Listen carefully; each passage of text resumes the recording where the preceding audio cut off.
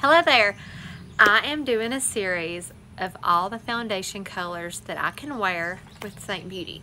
The purpose is I'm just trying to show the versatility. So today I'm going to be using the color Aura, which is normally the color that I brighten with.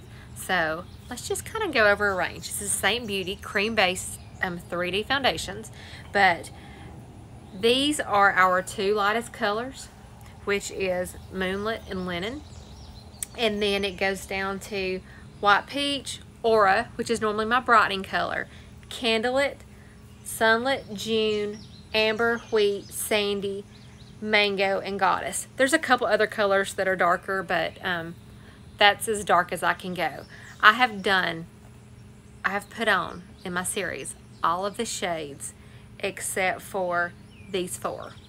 And I'm not going to do these three this is about as light as I'm going to go because this is already my brightening highlight that I use. So I don't really want to go any lighter than that. But I just want to see if I use the color way lighter than what my skin tone is, the versatility of how to be, how to be able to make it work. So um, I'm doing everything the same though that I've been doing.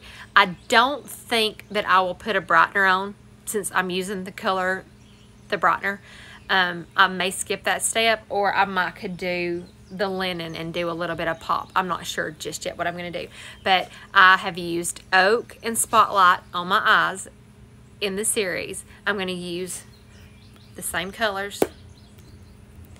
Sandstone on my cheeks, the Honey Illuminator, the bronzer and the rose gold um, to bronze my face, and then my um, contour will be olive.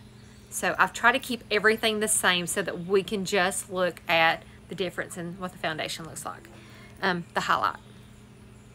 So I'm going to start. I've already I've primed my face. I prime it with a setting spray. But I'm going to go in. I use the blush and bronzer. And I may end up trying to speed some of this because we're going to try to make this quick. Because it's a lot of videos that I've done over the course of a couple of weeks.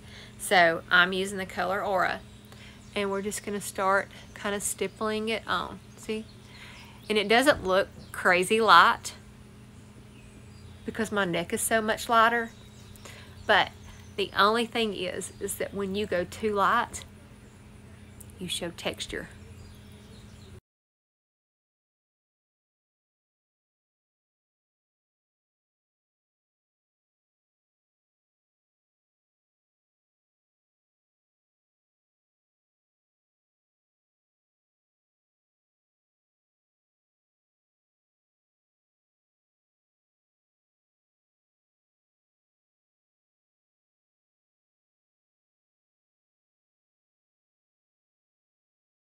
So if you look, it is, I mean, it is light. It, it's not crazy stark, crazy light, but it is way light for the tone that I have with my freckling and my face is normally dark, darker. You gotta be careful not to be washed out, which the bronzer is the great thing for it. So now I'm gonna go in with my contour in the color olive. And this is the detail brush.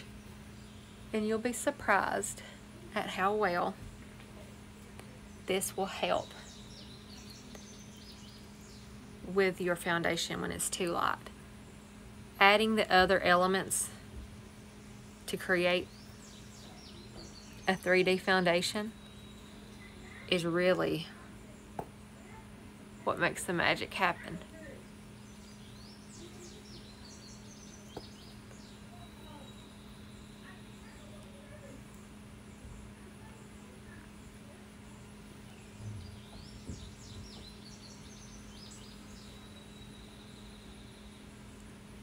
I'm just going to chisel the jaw a little bit.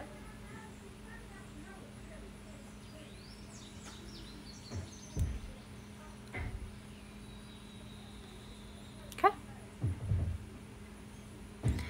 Um, I'm going to go back and I'm going to blend in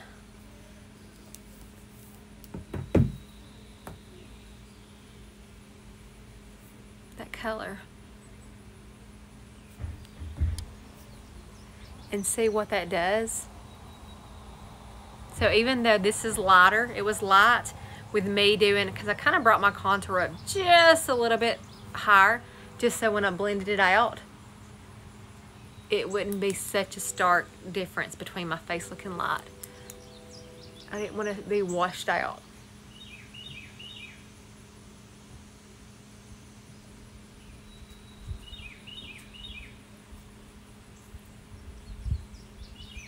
But I'm just surprised that I can wear as many of the colors as I can. You really can make a lot of them work just if you um, you really don't have to play around with it much.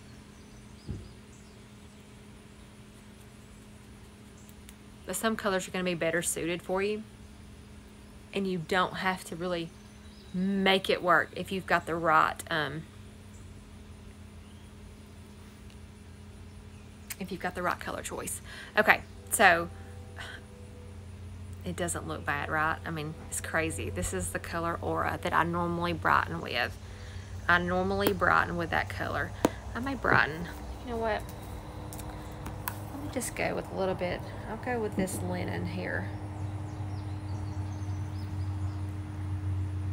Just for a little extra bright.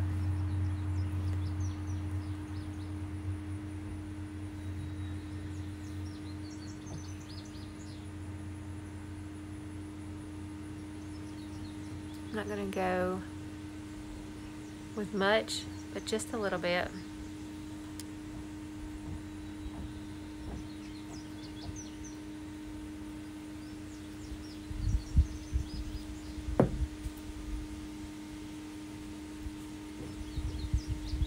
I don't use linen a whole lot. I might do a little dob, dollop just for a, a smidgen of an extra brightening, but it's almost too, um, too bright for my face. But if you blend it in with your other stuff, you really can't, um, you really can't tell. There you go. I'm gonna go in with my, my bronzer.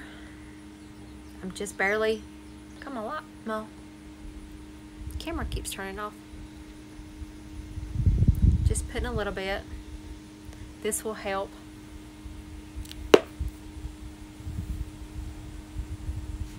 with, um, oh, get that off my neck. Blending it. The bronzer, I know I say this every time, is sheer. It's a very sheer color, super easy to blend.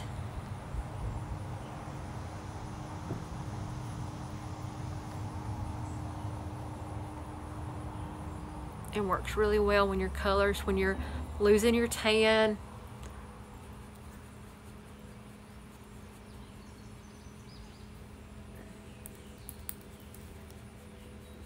and you want to look like you've been to the beach or if you feel like your color is not dark enough that's all you got to do is add a little bit more of this or even put it underneath it. It's a great base. It evens out your skin tone and it's great to put your foundation on top of it. There you go. Okay. So really quick we're going to go in. I'm going to put the color honey just as a little bit of a illuminator. I think that's what I've been using each time.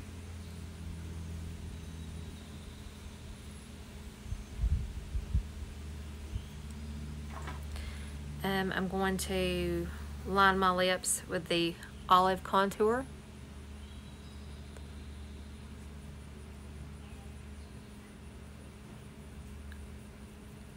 I had chapstick on a while ago.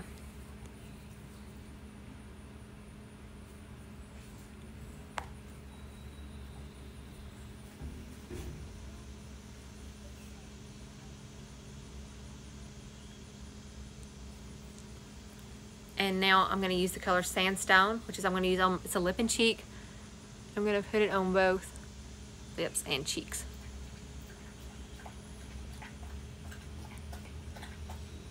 And I, I can't remember if I've been using a gloss or not, but I'm just gonna put this color Honey on it to kind of mute it down and make it a little bit more nude. Now I'm going to go in with my sandstone um, on my cheeks. I'm just barely dipping it. And I'm going to put it kind of right above where I contoured. It's gorgeous color. It's my favorite. I think this is my favorite color. It just gives life. I love the little pink flushes that you have too, but this right here, I mean, oh, it's just so pretty. And you can deepen it as much as you want.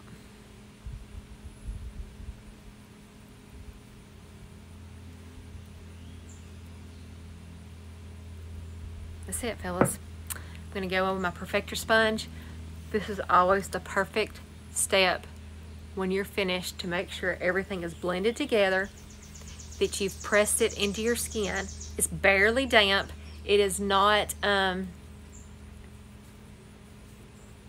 uh, wet and dripping because you, you want it to pick up excess product but not extra product. You want it you want to leave just enough to where you're able to press it into your face.